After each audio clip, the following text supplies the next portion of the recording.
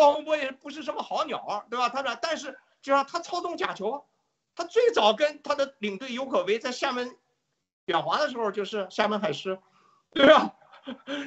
没有一个教练员能说今年带队打了中超的冠军，第二年俱乐部不给他续约。